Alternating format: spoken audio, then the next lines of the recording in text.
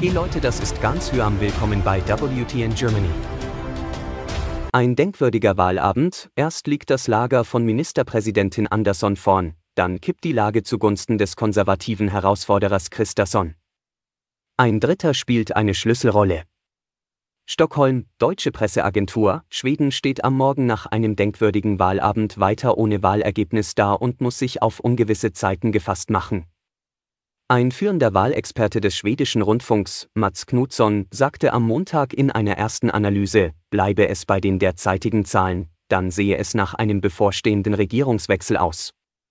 Da die letzten Stimmen aber noch nicht ausgezählt worden seien, bestehe auf Seiten des Lagers von Ministerpräsidentin Magdalena Andersson weiter ein Funken Hoffnung. Hey guys, this is Gansham. Welcome to WTN Germany.